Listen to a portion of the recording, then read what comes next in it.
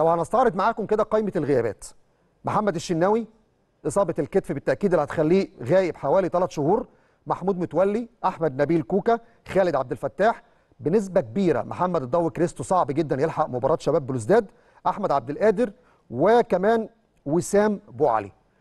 أتمنى يعني أتمنى طبعا التشخيص الطبي والبرنامج التأهيلي يعني في صعوبة إن وسام ممكن يلحق المباراتين في صعوبة.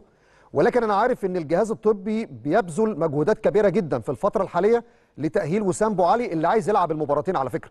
يعني اللاعب وسام بو علي عنده حماس شديد جدا عايز تكون ضربة البداية مع الأهلي في أول لقاء ما يغيبش عنه. ولكن طبعا لازم يتمهل شوية في توقيت المشاركة. الإصابة للأسف جاية في توقيت رخم جدا. ولكن إن شاء الله بإذن الله لو ما لحقش المباراة الأولى وده يعني أعتقد بنسبة كبيرة مؤكدة هنحاول نطمن عليه على مباراة ميدياما اللي الجهاز الطبي يعني مع التأهيل بيبذل مجهودات مكثفة للحاق وسام بو علي اللي المفروض يعني طبقا للبرنامج الزمني الأفضل إنه يغيب المباراتين. ولكن هنشوف إيه اللي هيحصل خلال الفترة اللي جاية. بيرسي تاو وصل النهارده. وصل النهارده إلى القاهرة. وكان حريص بيرسي تاو إن هو يعني يصل بسرعة للقاهرة عشان يستعد مع النادي الأهلي.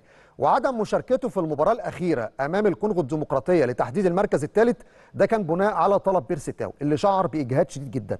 بيرسي تاو يا جماعة أكتر لاعب إفريقي في الدوري المصري لعب دقائق مشاركة في البطولة الإفريقية في كأس الأمم. 564 دقيقة. 564 دقيقة.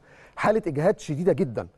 ده غير كده كمان جنوب إفريقيا على فكرة من المنتخبات القليلة جدا اللي لفت كل المدن في الكوت ديفوار. لعبت في أبيجان مباراة الثالث والرابع. لعبت في بواكي على استاد السلام. لعبت في ياماسوكرو. راحت لعبت في سان بيدرو مع المغرب. منتخب جنوب إفريقيا لف كل مدن الكوت ديفوار الخمس مدن. لعب في الخمس مدن. فده كان إجهاد وإرهاق كبير جدا وبالتالي بيرسي تاو النهارده وصل والمعلومات اللي وصلت لي برضو يعني خلال الساعات اللي جاية هيتحدد بشكل رسمي ولكن بنسبة كبيرة.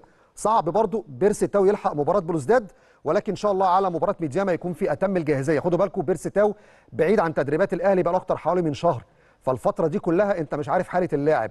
المباراة الأخيرة غاب عنها. عدد دقائق اللعب اللي ذكرتها دلوقتي لحضراتكم 564 دقيقة. دقائق لعب كتير جدا. وبالتالي ده أكيد في حسبان الجهاز الفني لما يشوف حالة اللاعب عشان لا قدر الله ما يشاركش في مباراة بلوزداد يجي له إصابة يغيب فترة طويلة. فبالتأكيد هيكون في أمر تحفظي على مشاركة بيرسي تاو خلال الفترة اللي جاية.